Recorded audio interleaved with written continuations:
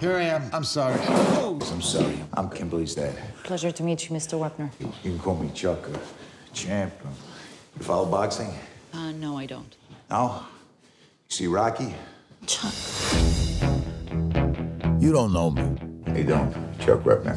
Well, you do know me, but you don't know you know me. Once upon a time, I was the heavyweight champ in New Jersey. I was the best. Hey, Dal, set my man up with whatever he wants. And some guy named Stallone wrote a screenplay inspired by me. I was like, what? It's the real Rocky. I told you you know me. The real Rocky. Hey, everything's gonna be different now, baby.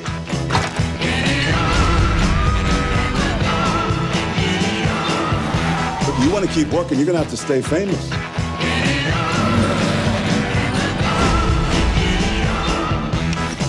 What are you that meets the eye, Chuck Wepner? Sometimes life is like a movie. Sometimes it's better.